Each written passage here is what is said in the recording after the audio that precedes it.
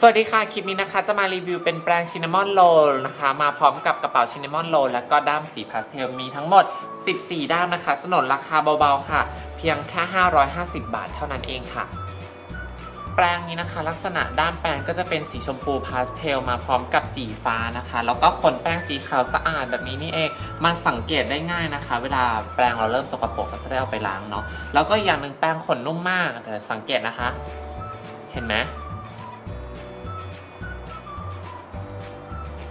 นี่ด้วยเพราะขนมันยาวด้วยแหละมันเลยทำให้เราเห็นว่าแปรงมันสามารถสะบัดได้แล้วมันนุ่มขนาดไหนนะคะนี่นะคะ อันแรกก็จะเป็นแปรงพุ่มแบบนี้นะคะ เอาไว้ลงแป้งนะคะ หรือว่าเอาไว้ลงบัชออนก็ได้นะคะ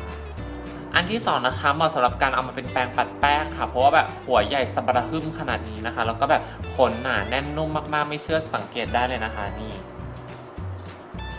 แบบรวบแล้วอย่างเงี้ยค่ะแน่นๆกำแน่นๆอย่างเงี้ยยังแบบ ใหญ่ขนาดเนี้ยคือแน่นจริง ๆนะคะ ต่อมานะคะเป็นแปรงลงผลิตภัณฑ์เนื้อครีมค่ะ น้องเกดจะเอามาไว้ใช้ลงพวกไฮไลท์เนื้อครีมซะมากกว่านะคะ เพราะว่าอันนี้เนี่ยมันมีหัวค่อนข้างมน เพราะฉะนั้นเนี่ยเวลาเราลงกับจุดหน้าผากต่างๆ หรือว่าจุดไฮไลท์ต่างๆ มันจะคมค่ะ แล้วมันก็จะทำให้มันเด่นขึ้นมานะคะ ต่อมาค่ะมาในลักษณะหัวเดียวกันนะคะแต่เป็นอันเล็กนะคะ สามารถเอามาปัดนะคะ เป็นคอนทัวร์ก็ได้นะคะ ปัดหน้าผากก็ได้นะคะ ขอบหน้าผากที่แบบว่า ติดกับไรผมแบบนี้นะคะ มันจะปัดกับพวกแปรงหัวตัดยากเพราะฉะนั้นอันนี้จะเหมาะค่ะ ต่อมานะคะเป็นแปรงหัวตัดนะคะ เราก็สามารถที่จะเอามาปัดแก้มได้ หรือเอามาคอนทัวร์กรอบหน้าได้นะคะ ใช้ง่ายมากๆเหมาะสำหรับคนที่เป็นมือใหม่นะคะเซตนี้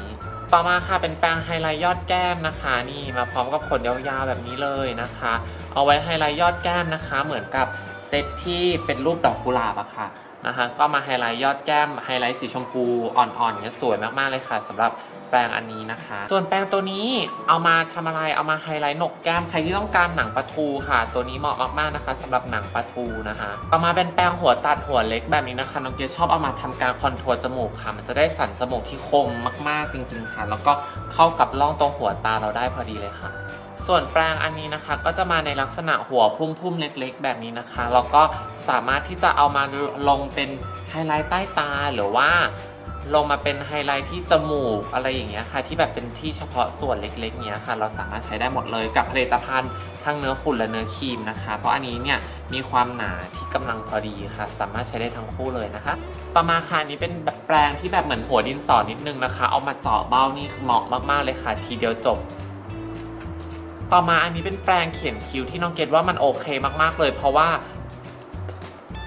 ต่อมานะคะอันนี้เป็นแปรงเขียนคิ้วที่น้องเกดชอบมากเลยค่ะ เพราะว่าอันนี้ดูสิ มันเป็นหัวที่แบบตัดที่บางมาก เป็นแบบหัวตัดที่บางมาก เพราะฉะนั้นนี่มันเหมาะมากสำหรับ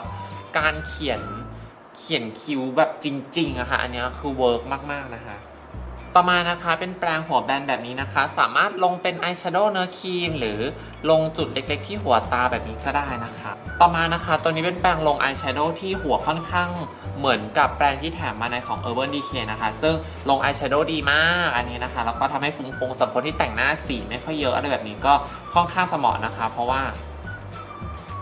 สำหรับแปรงตัวนี้นะคะ เป็นแปรงลงอายแชโดว์ที่หัวค่อนข้างเหมือนกับของ Urban Decay เพราะฉะนั้นเนี่ย มันก็ค่อนข้างที่จะลงอายแชโดว์ได้ดีมากๆเลยนะคะ แล้วก็คนที่ทาตาแบบไม่กี่สีอะไรแบบนี้ใช้ชีวิตง่ายๆ ปกติประจำวันก็เหมาะมากๆเลยค่ะ เพราะว่าสีเดียวก็ปลื้นแล้วก็จบเลยค่ะ เห็นไหมคะว่าทั้งหมด 14 ชิ้นเพียง 550 บาทเนี่ยคุ้มมากๆเลยนะคะสำหรับคนที่ใช้ชีวิต everyday look ก็คือแบบจบเซตเดียวจบจริงๆค่ะสำหรับเซตนี้แนะนำมากจริง ๆนะคะสำหรับคนที่หัดแต่งใหม่หรือว่าอะไรใหม่เนี่ยค่ะ ตัวนี้ก็เหมาะมากๆจริง ๆ ค่ะ โอเคค่ะ เดี๋ยวไปกันเท่านี้คลิปนี้ บ๊ายบาย